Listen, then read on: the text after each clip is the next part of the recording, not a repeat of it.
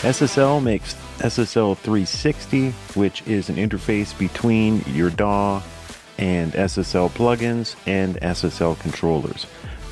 It's 100% free, and even if you don't have controllers, you can use it to mix with SSL plugins in your DAW. You can also control transport functions, play, stop, rewind, this type of thing. If you're having troubles with it, follow this guide to get it working again. So quickly, we go into the settings in SSL 360. We want the first DAW obviously to be Cubase.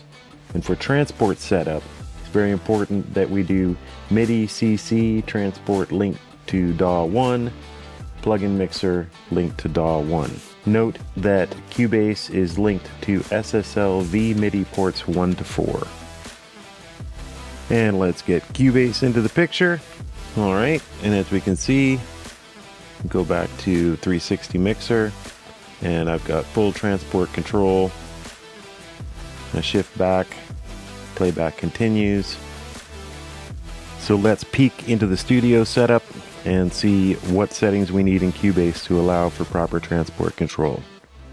Head up to Studio and Studio Setup, and then we are going to look at the Mackie control.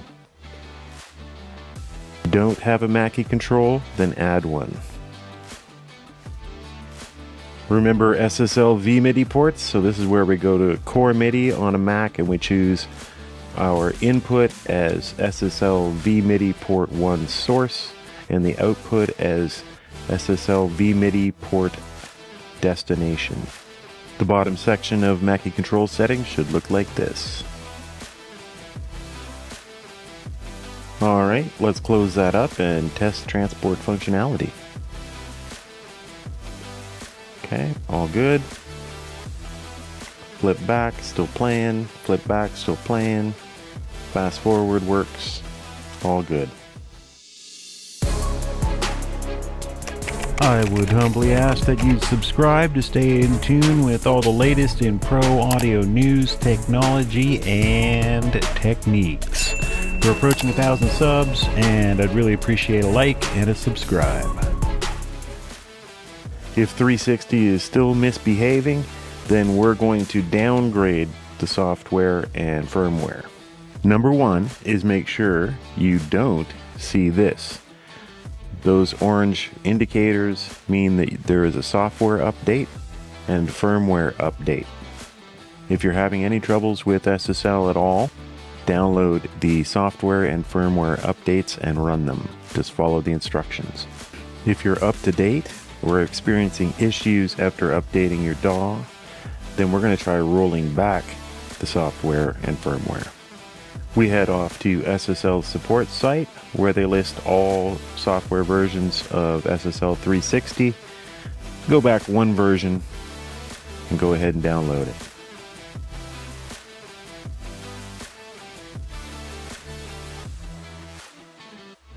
Alright, and now we'll open the freshly downgraded SSL 360. There's a short initialization period and then when it opens up, you will see those orange indicators that there's a software update. update. That's good. Leave it this way. We're going to stay downgraded at the moment. Now go back and test the 360 connection to your DAW and See if the transport works, see if any odd behaviors go away. If everything works fine now, then stay at this software version for a while until they release another patch and write an email to SSL support. They're very responsive. After downgrading, you can re-upgrade your software and firmware again and see if the original issue comes back. You can revert back and forth between software and firmware safely. This is recommended by SSL support themselves. If problems persist after re-upgrading, then you're going to have to re-downgrade and stay at that level until SSL gives you a solution. And there you have it.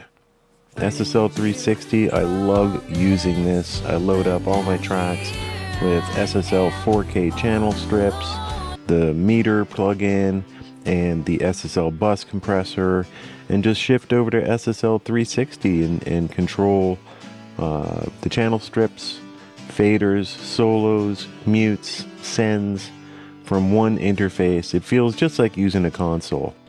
If you guys are interested in getting more SSL stuff, I can't recommend enough. The Slate SSL Complete Access Bundle gives you all SSL plugins, all Slate plugins for $16.67 a month, plus an extra 10% off using my code. Follow the QR code or the link in the description.